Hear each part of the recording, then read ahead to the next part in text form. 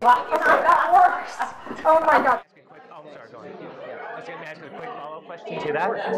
if there's still a Republican control in Congress, and if Hillary is is elected, is there anything she could do to? Uh, well, there might be executive order. Yeah. Oh, so she can. Yeah, I know that. Uh, short, he, he did some executive orders relating to aspects of waiting periods, mm-hmm. but what we really need is to win the Senate and have her there and put the pressure on the House. And just wish that you know we might even win the House. We were intrigued by the comment about executive orders, and then we found this email in the WikiLeaks DNC email treasure trove.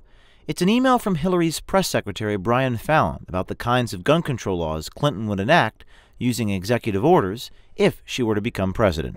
Hillary, she's Hillary wants more, to shut it down. She's going to shut, shut it down. I mean, and you think she get, will? You know, we're getting guns away from everyone in this country.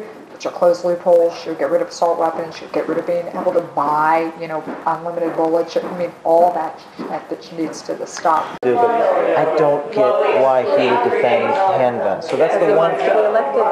Well, that's. And he's from mm. Wisconsin. It was mid August, and one of our journalists went undercover into the Russ Feingold campaign in Madison, Wisconsin. Is there anything you need help with the most, or is it just everything? Okay, I can make phone calls. Awesome! Somehow, our cover was blown. Can you tell us if you're working for anyone in particular? Not really going to answer any questions. You're recording us?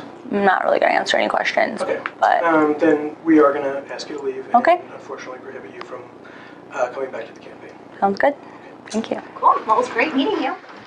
The Feingold campaign was so proud that they had uncovered the mole, they trumpeted their brilliance by going to the media. Time magazine, the Huffington Post, and others enthusiastically reported the story. But the Feingold campaign wasn't as brilliant as they thought they were. On the very same day they uncovered our undercover journalist, we were infiltrating a fundraiser in Silicon Valley, where the candidate Russ Feingold himself spilled some beans about possible Hillary strategies to restrict the Second Amendment. I looked like a young Elton John or an old Justin Bieber. Feingold talks both sides on the gun issue. Wisconsin has a lot of hunters who vote. But I, what I do is I go with the majority of the people of the state, which is very common sense. They believe there should be background checks. Overwhelmingly believe there should be background checks for the internet and for gun shows. Interestingly, Feingold's stance on guns disappointed some of the big West Coast donors I spoke with wanted him to be stronger. Nobody just, needs a friggin' handgun. I don't understand that. I, I understand hunting. I, I, get it's a, you know it's something people do, but I don't get why he would defend handguns. So that's the one.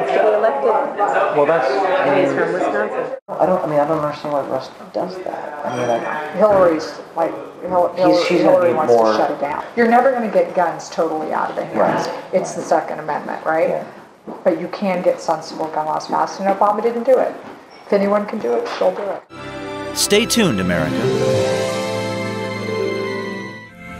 2016.